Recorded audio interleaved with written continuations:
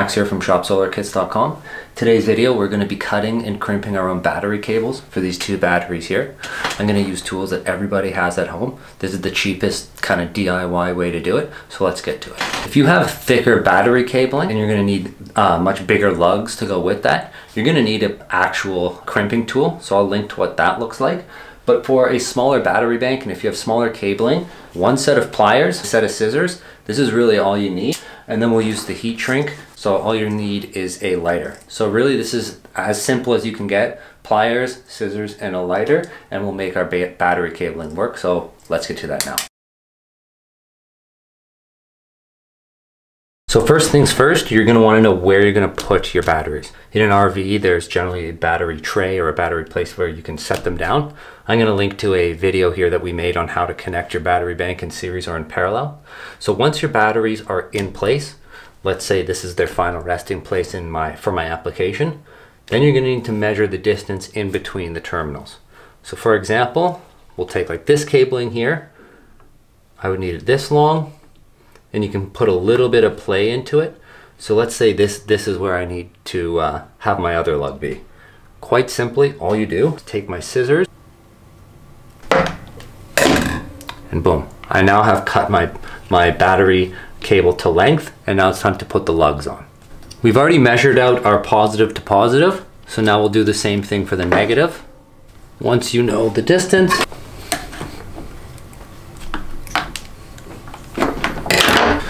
we now have two pieces, one which will go negative to negative, one which will go positive to positive. It's time to put the lugs and the heat shrink on now.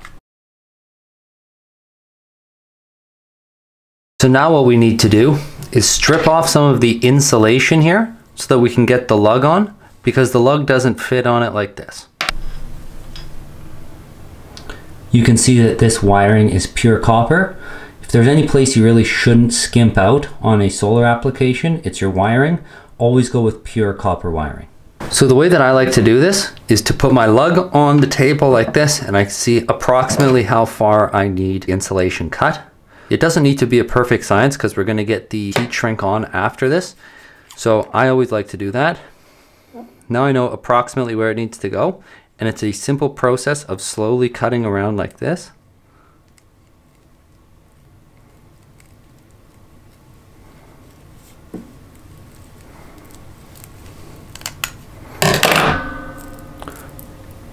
You can see I've cut it all the way through and let's write off. So now that we have the insulation off, I always twist it like this a little bit so that it goes in easier. Put my lug right over top. Now it's the easy part. Your large pliers. I hold my one finger on the top here, place it like this, and you start to squeeze. And there you go. Lug is on there properly.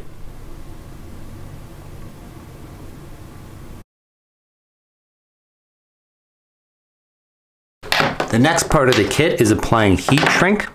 Heat shrink essentially just protection against, you know, abrasion and damage. What you're going to want to do is the same kind of thing. Measure it out approximately how far down you're going to want it. About an inch down past the lug is what I like to do. So I'll just go like this snap it there, complete my cut, and then you can see your heat shrink here. Now you'll open it up, slide this in, put it right up against like this. You can see that it's large and it's not contracted yet. This is where your lighter comes in. Literally the word heat shrink is very self-explanatory. You use heat to shrink this plastic around it.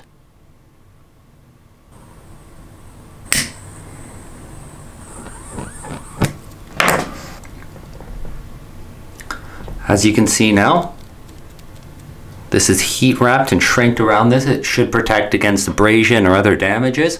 I'm gonna go ahead and do this on the other pieces, um, on all these, and then we'll test to see if the battery cables work when we try to connect our batteries in parallel.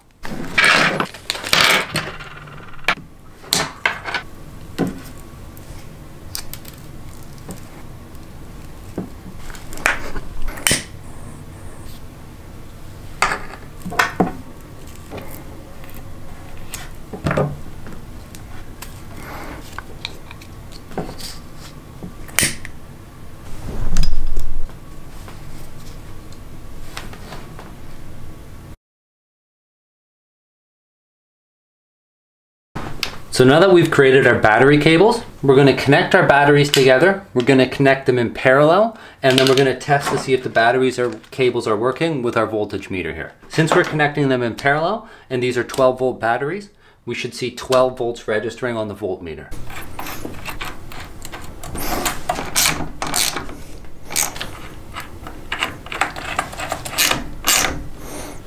So now that we have our battery bank wired in parallel, we should just be able to test it and get around 12 volts depending on the state of charge of these batteries uh, if we've done it correctly and our battery cables are working.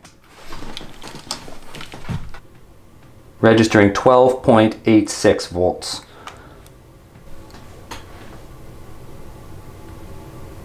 So that's been how to make your own battery cables. Uh, all you'll need is a, a, lighter, some scissors, and a pair of pliers.